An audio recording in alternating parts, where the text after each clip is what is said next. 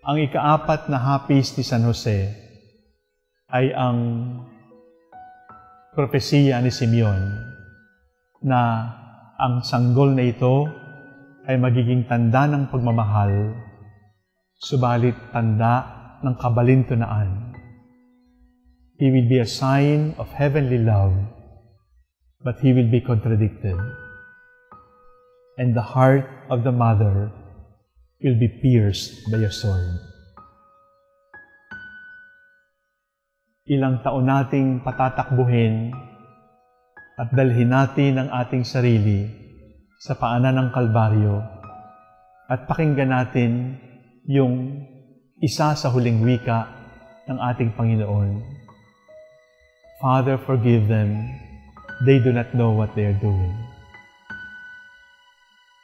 They do not know what they are doing. Hindi nila alam ang kanilang ginagawa. Naniniwala kayo? Hindi ako naniniwala. Alam nila yung kanilang ginagawa. Alam nila na yung pagpapako ay makakamatay. Alam nila na yung pagsibat ay makakamatay. Alam nila yung paghagupit at magdudulot ng maraming sugat ay maaring makamatay. Alam nila na nauuhaw at ang nauuhaw ay pinaiinom. Alam nila lahat yon. Hindi naman dahil tutulog-tulog sila o kaya talagang wala silang malay doon sa kanilang ginagawa. No, I don't think so. I think what the Lord meant when He said, they know not what they do, is they do not know how much I love them. Hindi nila alam kung gaano ko sila kamahal. Kung alam lang nila kung gaano ko sila kamahal, hindi nila gagawin ito.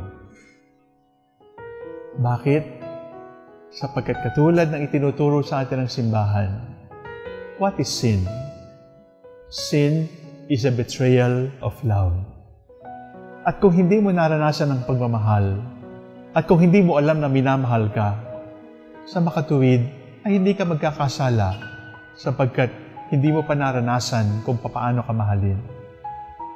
Sa Kalbaryo, ang sinasabi ng Panginoon, kaya siya naging sign of contradiction ay sapagkat ako itanda ng pagmamahal, subalit ayaw nila akong tanggapin sapagkat ayaw nilang mahalin ko sila. They don't know how much I love them.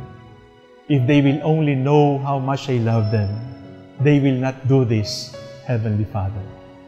If they only know that this sacrifice is for them, they will not do this to me, loving Father. Yon ang pinagsisimulan na ang sanggol na ito ay magiging tanda ng pagmamahal, subalit tatanggihan, tatanggihan ng kanyang pagmamahal, at dahil tatanggihan ng kanyang pagmamahal, yung kanyang mga mismong minamahal ang papatay sa kanya. That is the big contradiction. And uh, did Joseph understand that? Did Joseph know that? Probably not. But he also knew what it is to love and not be loved in return. And to love and to be refused instead of being accepted. Sa pagkakataong ito, sana ay namnamin natin yung katotohanan ng mahal ako ng Diyos. At dahil mahal ako ng Diyos, ang lahat ay gagawin ko para ipakita ko na nagpapasalamat ako, may utang na loob ako sa pagmamahal na tinanggap ko.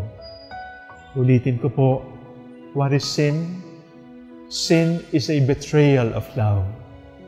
You know you have been loved and you betray it. You know you have been loved and you abandon it. You know you have been loved and you ignore it and take things for granted. Sana, wag nating ipagbawal ng bahala na mahal tayo ng Diyos. Father, we know your love for us and you have shown that love through Jesus your Son. Saint Joseph saw that love. May we see the same love. May we love the same way. Amen. Thank you for listening. Thank you for watching. Please look for Father Sok on YouTube and uh, I hope you can subscribe to the channel.